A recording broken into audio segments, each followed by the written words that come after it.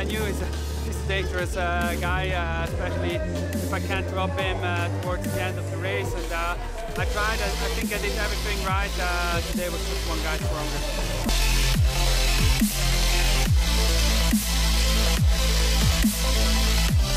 Uh, to finally win a World Cup, I've been trying it now for for a couple of years, and um, take the win on my favorite course in a direct battle to Nino Schurter, it's uh, it's amazing.